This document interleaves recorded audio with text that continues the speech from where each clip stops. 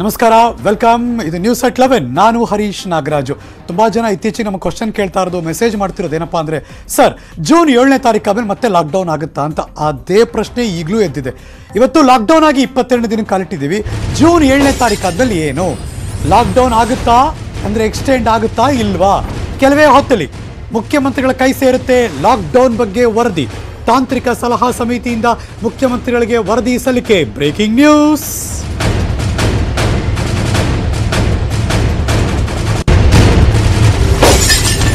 ಸಂಪುಟದಲ್ಲೂ ವರದಿ ಬಗ್ಗೆ ಚರ್ಚೆಯಾಗಿದೆ. ತಜ್ಞರ ವರದಿಯನ್ನು ಕೂಡ ಸಿಎಂಗೆ ನೀಡ್ತೀವಿ. ಆರೋಗ್ಯ ಸಚಿವ ಡಾಕ್ಟರ್ ಕೆ ಸುಧಾಕರ್ ಹೇಳಿಕೆ ಕೊಟ್ಟಿದ್ದಾರೆ. ಕೆಲ ಸಚಿವರು ಹೇಳಿದಂತೆ ಏಕಾಏಕಿ ಲಾಕ್ ಮಾಡಲ್ಲ. ಸಚಿವರು ಮಾಹಿತಿ ಇರದೆ ಮಾತಾಡಬಾರದು. ತಜ್ಞರ ವರದಿ ಆಧರಿಸಿ ಲಾಕ್ಡೌನ್ ಅಂದರು ಡಾಕ್ಟರ್ ಸುಧಾಕರ್. ಸಿಎಂ ಭೇಟಿಯಾಗಿ ಮಾತುಕತೆಯನ್ನು ನಡೆಸೋರಿದ್ದಾರೆ ಡಾಕ್ಟರ್ ಸುಧಾಕರ್ ಅವರು. ಅವರೇ ಹೇಳಿಕೆ ಕೊಟ್ಟಿದ್ದಾರೆ. ಬನ್ನಿ ನೋಡೋಣ.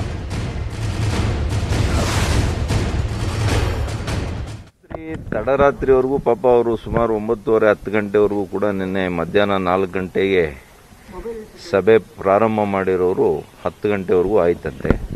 ಹಾಗಾಗಿ ಆ ರಿಪೋರ್ಟ್ ಎಲ್ಲ ಸಿದ್ಧ ಆಗಿ ಬಹುಶಃ ಈಗ ನಾನು ಕೊಡ್ತಾರೆ. ಅದನ್ನು ಮಾನ್ಯ ಮುಖ್ಯಮಂತ್ರಿಗಳ ಜೊತೆ ನಾನು ಚರ್ಚೆ ಮಾಡಿ ಮತ್ತು ಬಹುಶಃ ಮಾನ್ಯ ಮುಖ್ಯಮಂತ್ರಿಗಳು ಸಂಪುಟ ಸಚಿವ ಸಭೆಯಲ್ಲಿ ಕೂಡ ಅವರು ಚರ್ಚೆ ಮಾಡಿ ಅಂತಿಮವಾಗಿ ನಿರ್ಧಾರ ತೆಗೆದುಕೊಳ್ತಾರೆ ಅಂತ ವರದಿಯನ್ನು ವರದಿಯನ್ನು ಕೂಡ ಅವರಿಗೆ ಅಲ್ಲೇ ಪ್ರಿಂಟ್ಔಟ್ ತೆಗೆದುಕೊಂಡು ಅಲ್ಲೇ ಕೊಡೋದಕ್ಕೆ ಪ್ರಯತ್ನ ಮಾಡ್ತಾರೆ. ಬಹುತೇಕ ಸಚಿವರು ಅನ್ಲಾಕ್ ಮಾಡೋಕೆ ಅಭಿಪ್ರಾಯನ ವ್ಯಕ್ತಪಡಿಸ್ತಾರೆ ಇದು ಸಾಂಕ್ರಾಮಿಕ ರೋಗ ಆಗಿರೋದಕ್ಕೆ ನಾವು ಭಾಳ ಎಚ್ಚರಿಕೆಯಿಂದ ಹೆಜ್ಜೆ ಇಡಬೇಕು. ಭಾಳ ಸುಲಭವಾಗಿ ನಾವು ಲಾಕ್ಡೌನ್ ಅಂತ ಹೇಳ್ಬೋದು ಭಾಳ ಸುಲಭವಾಗಿ ಅನ್ಲಾಕ್ ಅಂತ ಹೇಳ್ಬೋದು. ಆದರೆ ಅದರ ಸಾಧಕ ಬಾಧಕಗಳನ್ನು ಅರಿದಿರ? ತಾಂತ್ರಿಕವಾಗಿ ಅದನ್ನು ಅರ್ಥ ಮಾಡ್ಕೊಳ್ದಿರ? ವೈದ್ಯಕೀಯ ಹಿನ್ನೆಲೆಯನ್ನು, ಪರಿಣಿತರ ಜೊತೆ ಆ ಒಂದು ವರದಿಯನ್ನು ತೆಗೆದುಕೊಳ್ಳದೆ ನಾವು ಮಾತನಾಡುವಂಥದ್ದು ಅಪ್ರಸ್ತುತ ಅಂತ ನನ್ನ ಭಾವನೆ. ಅನೇಕರ ಭಾವನೆಗಳು ಅವ್ರ ಜೊತೆ ಹಂಚಿಕೊಳ್ತಾರೆ.